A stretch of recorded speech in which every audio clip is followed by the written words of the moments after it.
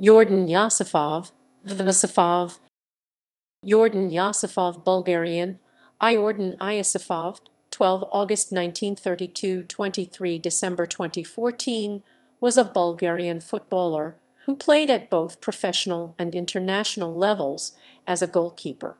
He competed in the men's tournament at the 1956 Summer Olympics. Honors Club Club Slavia Sofia Bulgarian Cup 1952 International. Bulgaria Olympic bronze medal 1956